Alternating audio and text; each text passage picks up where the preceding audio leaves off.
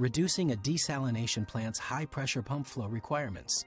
Not only does this save electricity, it also cuts high pressure pump size requirements, producing further savings.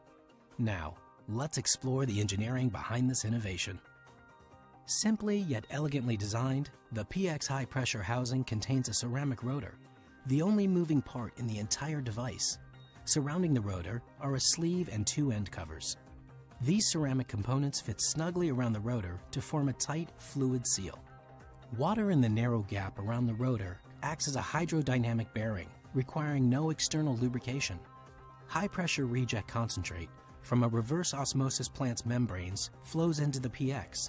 Low pressure seawater simultaneously enters the PX and fills the rotor, where it is exposed briefly to the reject concentrate.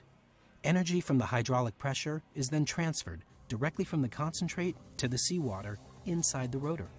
This pressurized seawater now goes back into the system and joins the stream from the high pressure pump. Any remaining concentrate exits the rotor at a low pressure and is then pushed out by fresh seawater. The rotor ducts function like a cartridge, charging and discharging as the pressure transfer process repeats itself. The rotor, using only the fluid flow, can spin up to an astounding 1200 rotations per